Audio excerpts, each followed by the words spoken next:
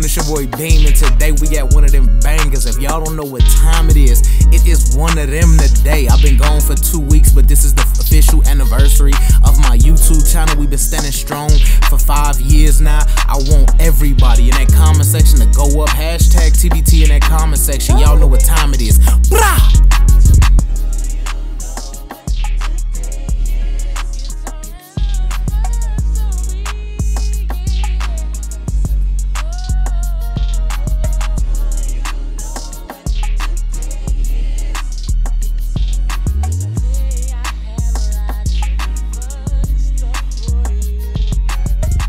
Kick this video off, I'll go in with a number two guard using my Andis ZR2s. I'm using the number two detachable blade. The number two detachable blade is a tad bit shorter than the number two plastic guard. It's really like doing a one and three fourths opposed to a one and a half. It just give it that tad bit, you know, darker shade of hair that I'm looking for. But I'm cutting everything with the grain. I'm keeping everything consistent. You getting consistent strokes through and through. You don't want to skim this hair. You don't want to nick this hair. You need this hair laid down you need it prepped for the next step. That's important when we getting these haircuts or these big wolves. You need to maintain this hair. Keep everything consistent and do not patch this hair.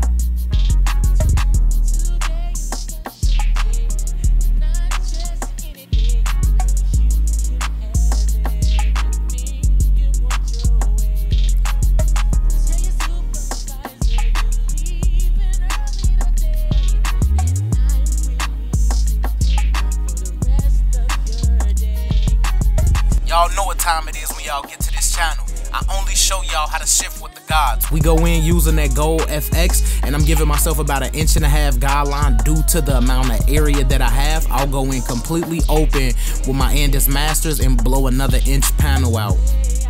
I'm just setting myself up for a nice taper.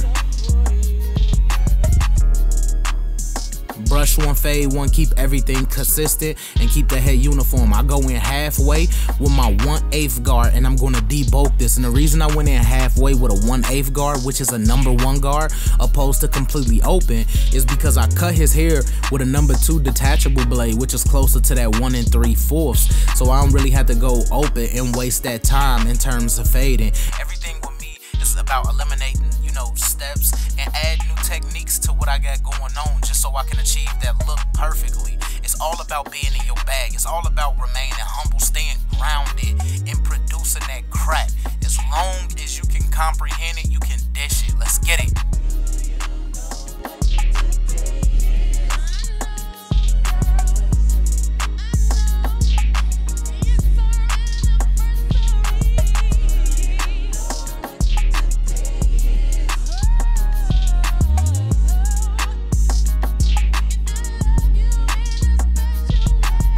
Then I go in with my Babyliss halfway closed and I'm slowly but surely adjusting this as I go up into it. I kind of wanted to use my Babyliss because my Babyliss FXs get real close to my FX trimmers just to knock that ball line out. After this clip, I will shift to my Andis Masters and just use the corner of my blade to bring my fade all the way together. And right here, as you guys can see, I'm using my Andis Master and I'm bringing it all together. That's what it's about in this industry. Not willing to, you know, push yourself beyond that level, question what you're doing. Like, I'm here to shape shift. I'm here to take it to the next level. That's my whole definition of taking every haircut to the next level. It's shape shifting. If you can't keep up, then it's not for you. It's that simple. It's clear cut. So I go in, I just tap up some of the middle right here using the corner of my blade. He had a couple dry spots in the back, but that's okay. I go in using the corner of my Gold FX trimmers, and I'm just trimming this out. I kind of want to arc it and give it a circular motion. Then I go up about a half of an inch using my Andis Masters, repeating them steps. And then I'll go in using my 1 8 guard, which is my number one guard, about halfway like I did in the back.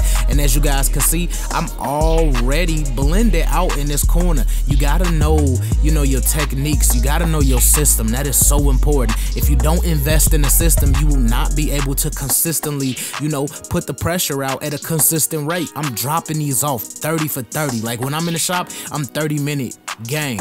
Like they 30 for 30s in the shop. I'm going like for 30 minutes. That's the easiest part about my job.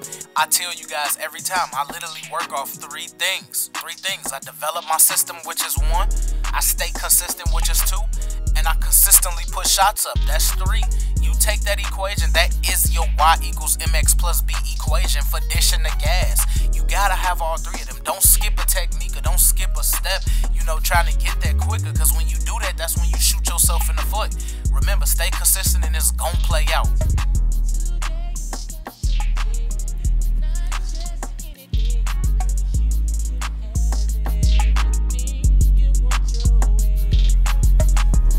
Keeping everything consistent. I'm starting to clean up some of the hair around the beard area just so I can break into my faded beard. And I'm just basically fading into the top area of the beard, fading into the bottom part of the side taper. Keeping everything consistent. You want that flow.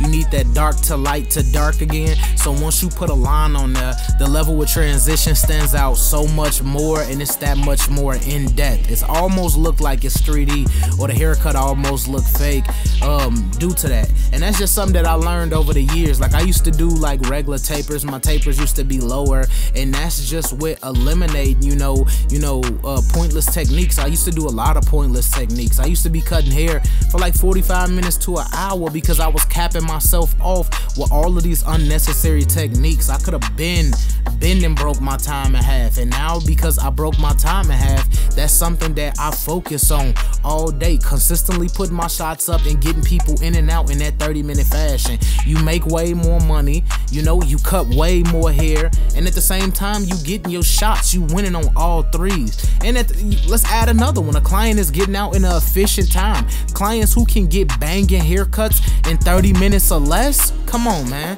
That's a given. It's a everybody win situation right there. Really focus on your craft, focus on yourself, tune in to yourself.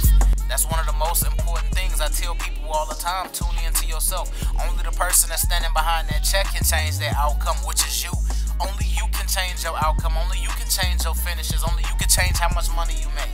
Only you can change how time efficient you are.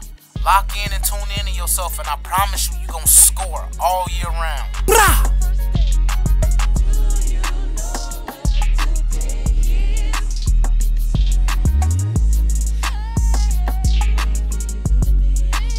Just using some of my heel action right here, using the corner of my blade, getting everything consistent. I need this taper laid as possible. And as you guys can see, I brush after every time I hit this hair. Brushing the hair is consistently laying this hair down and it's training this hair. It's making this hair look better. If you cut somebody hair and then brush at all after you faded or you flicked out in the area, the hair will not be as consistent and it will not look nowhere near as laid. Brushing the hair is so important guys. Like, I need y'all to focus up on that. If you're not brushing this hair while fading it, what are we doing here? Like, what are we doing in 2020? I need everybody to focus up. We so much in the advanced realm and we taking this barbering thing to a whole different level. Like I'm gonna be so innovative. Like coming up soon, I got some some things that I'm definitely working on. And I'm just been getting my mind right and I'm staying sharp. And I need y'all to do the same thing. Like I took off two weeks for a reason. When it's personal, I gotta step back. I gotta readjust my clock and you know, I gotta get my mind right. That that that happens a lot, but I need y'all at the end of the day to know that when it come to dishing gas, Beam not gonna stop that. Y'all never gonna lose that from me. No matter how long it take for me to drop a video, every video that I drop will bang. Like it don't matter. I'm gonna give y'all gas non-stop. I'm different. I'm cut different. I've been in my bag since day one. So I go in using spritz and I'm just basically hitting all of the hair, getting everything consistent. Then I go in with my gold FXs in the back of the beard, creating my straight about. I need to go ahead and bang the frame of this thing out. When I'm cutting hair, I'm framing everything out. I got like, you know, reference points for me to set myself up. So as you guys can see, me doing a straight line in the back, now I only got the curve of the beard to do, but I can almost see it because I have its foundation in the back in terms of how wide of the beard.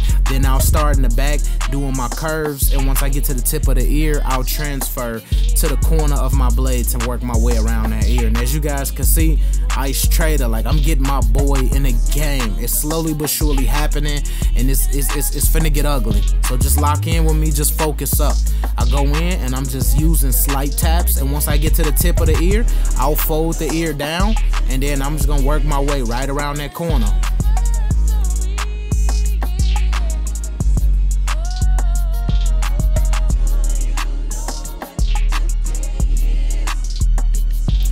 keep everything consistent, doing my straight about, getting everything consistent to match the other side. That's always important. It's just like finding common denominators. Whatever you do to the bottom, you do to the top.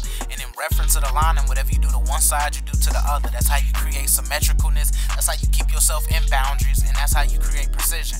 So I start in the middle and I just work my way to the left. Seeing my client got some light spots, some overhang with this lineup. At times, in the way my client is sitting his head, it can look like it's crooked, but this lining is gonna be super perfect. It's actually one of my favorite lineups to do. So once I go in and I just make my way all the way to the left, I'll flip into my vertical bar area and then I'll just make sure I got a nice 90 degree on this angle before I go into any other places of my lining. Then I go back to the middle and I work my way from the middle to the right the same way I just work my way from middle to the left. Everything is about consistency. It's about reps. We hit a cash out.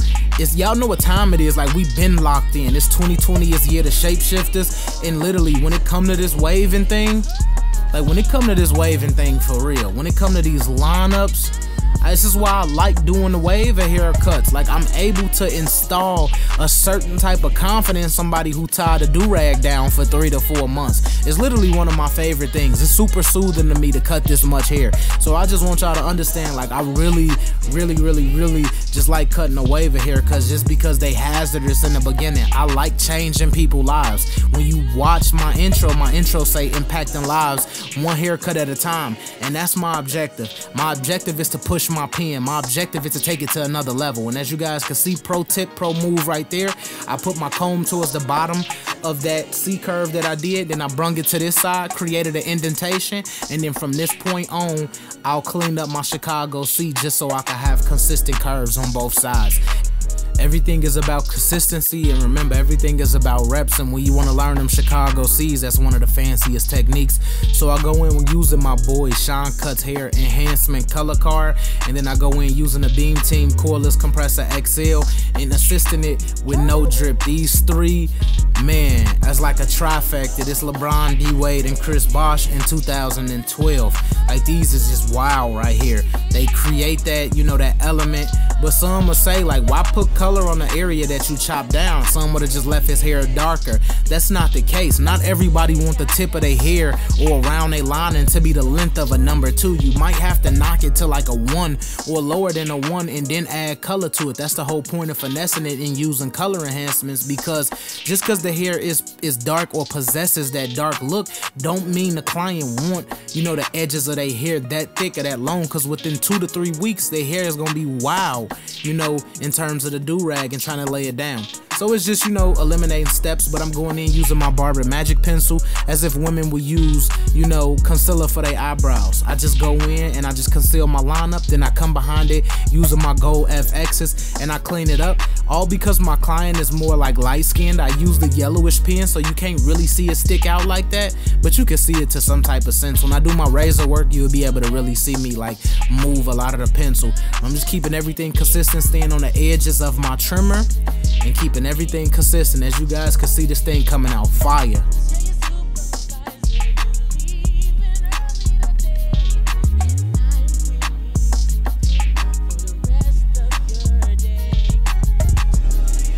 As you guys can see, duffel, like gas go in, tapping the bottom of the mustache, then I go in and hit the top of the mustache. This is something I'm trying to, you know, put more into my clips, uh, more like the full beard work into all of like my clips. I'm getting my angles a little bit better, so I'm able to capture, you know, everything in terms of the haircut. Lean my client back, angle my razor at a 45 degree angle, stretch the skin, and I start to create my curve. Due to my foundation and my line in the back, I know how far to bring the top line because my client want to keep the line as wide as possible, but at the same time, he wanted curved and he wanted crispy and clean. So we go in using a whisk and we'll dust everything off just because the first time you do something don't mean it's done. I want y'all to understand and know that. That's the attention to detail. Look at a lot of barbers, watch how many times they lap things and then go behind it maybe once or twice. Like lap something one time and then go behind it two or three more times. Watch how much more cleaner it is. It's little and simple things like that that could separate you, you know, from everybody in your city. My attention to detail was literally next to none on this YouTube thing. I'm in that duffel. I got that Tomb 45 triple cartridge kicked up. I'm stretching the skin and I got the backstroke going. Like that's what it's about. It's about implementing different techniques in different situations throughout different parts of the haircut. I've been locked.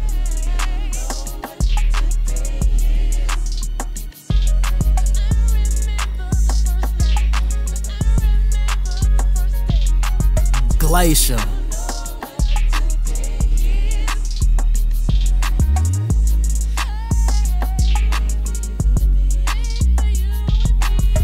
You guys can see, I'm doing the same thing, stretching the skin, angling that razor at a 45 degree angle, bringing everything back to that line slowly but surely. And as you guys can see, I can see the, the line is kind of rigid, which is why I'll go in and I'll dust it off because the first time you lap some is not it. You gotta go back again. Stretch the skin, angle the razor at a 45 degree angle, bring everything back to the line and you will be able to get the client as crispy as possible. When it comes to symmetricalness, and I don't and I know that's not even a word.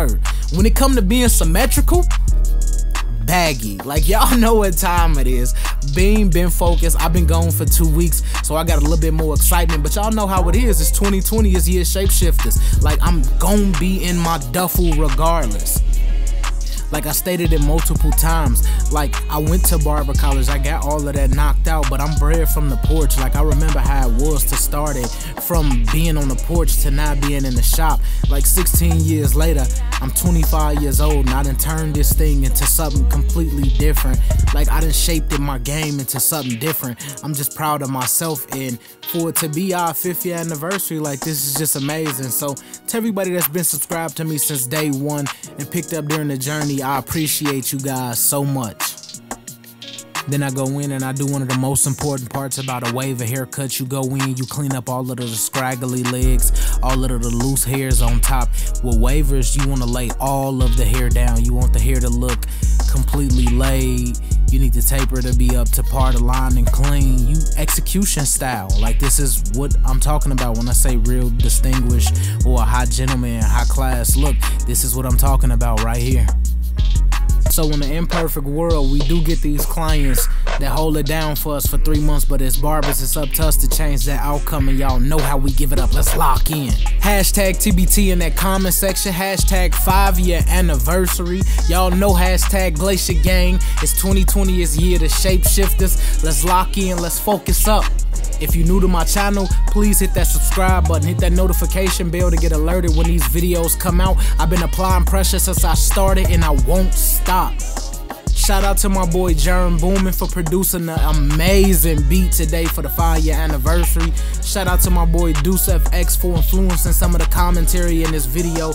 And shout out to all of the subscribers that been with me day one and that's picking up with me during my journey. I love all you guys. And until next time, and may God bless.